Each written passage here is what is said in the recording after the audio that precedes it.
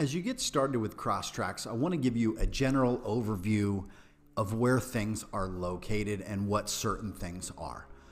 First, up here at the top, you have this three barred icon. That's where you can expand or minimize the navigation bar. So if you want to just utilize these icons to expand your screen, if you're working on a smaller screen, you can do that with this icon.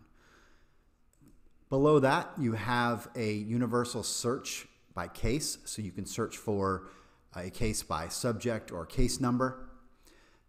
Here's the dashboard, that's this screen here. If you click on the case dropdown, you can search for a case, add a new one, import a bulk amount of cases, utilize the case updater, look at the case notes, or see case invoices. Underneath that, you have clients where you can look at your client list of companies or you can view your contact list, which are individuals. Below that, you have a list of your admin users and then investigators. You have the list, you have the protocols and instructions for your investigators, documents, and here is where you can generate time and expense sheets. Next is the Investigator Alliance. If you would like more information on that, please go to investigatoralliance.com. That's a great networking platform for investigators that can help you get cases. And if you're a company, you can also assign cases to investigators throughout the country via the Investigator Alliance. The CRM is a customer or client relationship manager where you can enter leads, activities, enter events such as conferences or client meetings, your tasks. If you want to keep track of calls that you've made to prospects, you can do that as well. You can also enter accounts and contacts here, and those will transfer into your account and contacts uh, for your clients. Below that, you have the file management system, which is very similar to Windows Explorer, where you can categorize files, and those files can be accessed by your staff at any time. Here you have company reporting, and these are the metrics and reports that you can run in regards to company activity. Things like GPS tracking reports, sales tools, client metrics, and a login report showing you who has logged in and out of the system.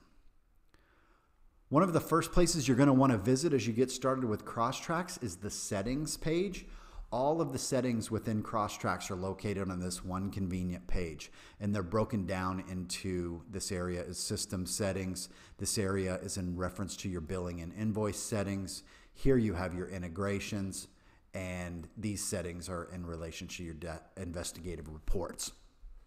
Down here in the bottom left is a support button. When you click on that, you can access the system articles. You can also report a problem, or if something's broken, you find a bug, something's not working, you can do that in this area.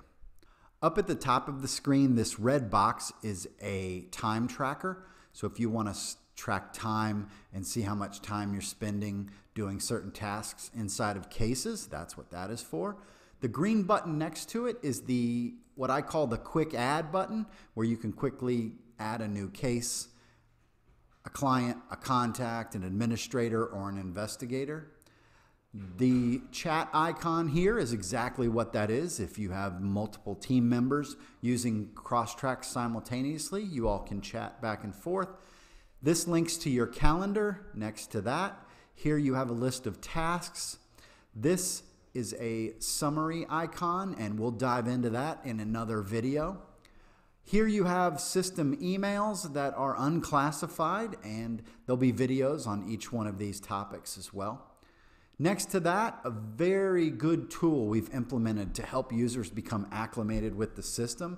These are walkthrough tutorials. Now, these vary page to page. So if you're in the client area or you're in a different area of the system, these videos will change and be on different topics. You can click on any one of these videos and take a tour of the system or learn how to do things such as add an investigator. Up in the right hand corner, you have your account controls your profile that you can fill out, account and billing, company licenses, and then you can log out. If you decide to go with CROSStrax, you can click on Account and Billing, and that's where you can choose your plan, clicking on Buy Plan. If you need to update company information, you can do that here as well. If you have any questions about the system, please feel free to email us at info, I-N-F-O, at crosstrax.co. You can also visit our website, which contains valuable information on the system, its features, and how investigators of all specialties are using the system to benefit their business.